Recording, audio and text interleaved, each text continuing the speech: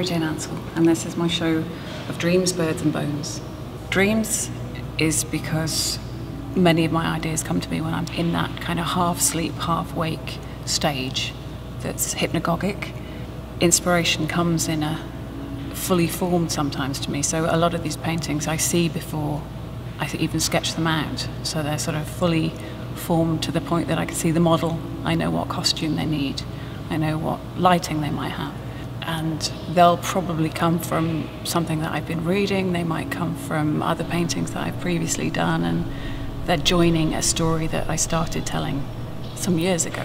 So there are paintings in this show that refer directly to paintings I did five, six, ten years ago. So Hope in the Reckoning. This is a painting really, it's quite an emotional painting for me. The show is dedicated to my mum, and this painting was from a period where we were waiting to hear something. It was the hope is the hope that we had that the reckoning would be would be a good outcome. So Georgie particularly is the model that you'll see in many paintings here, and she's always been a talisman for me. She's a face that has been in paintings of mine that have done so many things independently of, of me.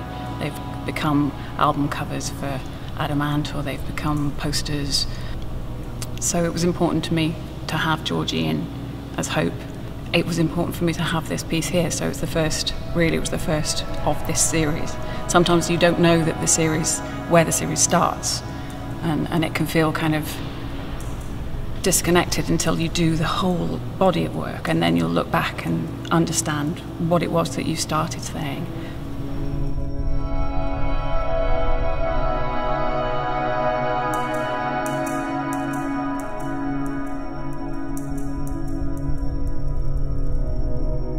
This painting, The Treaty, features the model Georgie, who I've worked with since she was about 15, and we've worked together for 10 plus years, I think now. She is a character that embodies so many different characters, so many strands of, of women that I want to show uh, in my work. She's strong and independent and brilliant and bright and talented and she personifies different aspects so easily that she's the perfect muse to work with. And she seems to capture other people's imaginations too. So, one of the paintings of Georgie caught Adam Ant's eye, for example, when he was walking past uh, the gallery where I was having a show and he saw her face and knew that it was the face he wanted for his album. And her face was also the face that the BP Portrait Award chose as their advert for the portrait exhibition, their annual award, and it appeared in in all sorts of things. She seems to be my lucky charm. Painting is called The Shadow of the Seventh. It has features six magpies. Now, when I was growing up, there's a, an old traditional rhyme about the superstition around magpies. And they have a meaning for each magpie that you see. So you might see one magpie, that's for sorrow, two are for joy, three are for a girl, four for a boy, five for silver, six for gold, and seven for a secret, never to be told.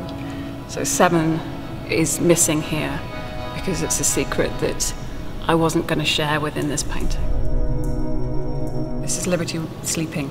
I have a series of paintings featuring the character Liberty that Georgie plays in this painting again. And liberty has been something that's been very important to the UK and to the States too over the last few years. And we're all seeing a period hoping that all our liberties are going to be cared for and taken care of by the politicians that take care of us.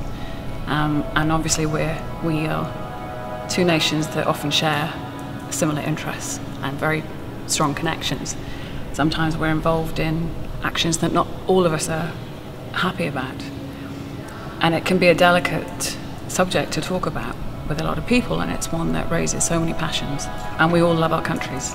Within those things, we have to protect our liberties, um, and sometimes we have to be aware that some of them are, under threat and just look out for them. So uh, it, this painting is really about, about that, being aware of, of whether your liberties are being looked after. This portrait of Mason, rather than a portrait of Mason, though, the character that she's playing really is the White Hart.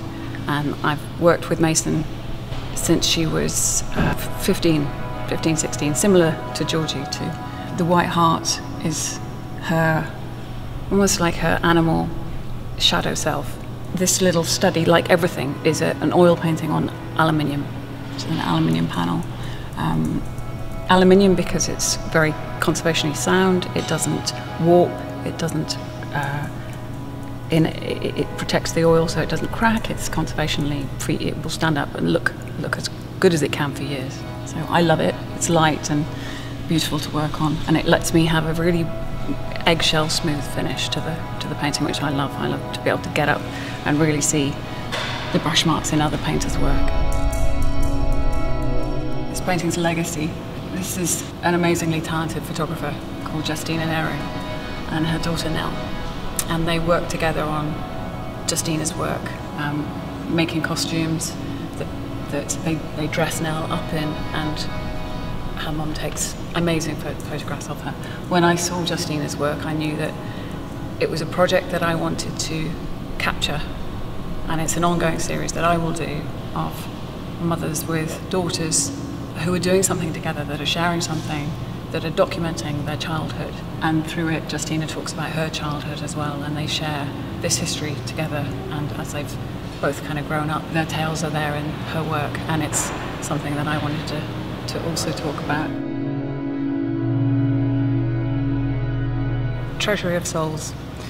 Uh, it's connected to the series really with, with liberty again, so it touches on similar themes.